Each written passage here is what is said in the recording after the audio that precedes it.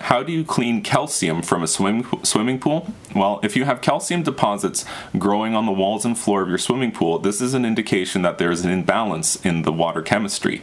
Most likely the calcium hardness levels are too high or the pH is not in the right range causing the calcium to come out of solution and start to form uh, onto the surfaces of the pool. If this is something that's happened to you, there's not a lot of great ways to fix it and it usually starts with draining the pool. And this is especially true with concrete pools as concrete pools are specifically inclined to develop calcium scale on the walls and floor.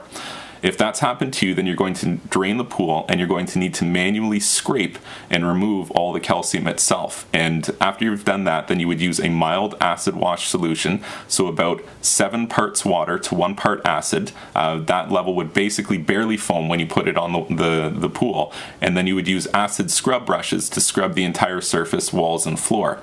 Once you've done this, you'll have removed most of the calcium. However, there will still be some there on the walls and floor. And the way you deal with that is by filling the pool back up and then operating the pool with all of the chemistry in the correct ranges. If you do not manage your swimming pool chemistry, this is a problem that you are very likely to have and something that can cause a lot of damage to your pool. If you found this information helpful, please like this video and subscribe to my YouTube channel. And you can also check out my website, swimmingpoolsteve.com.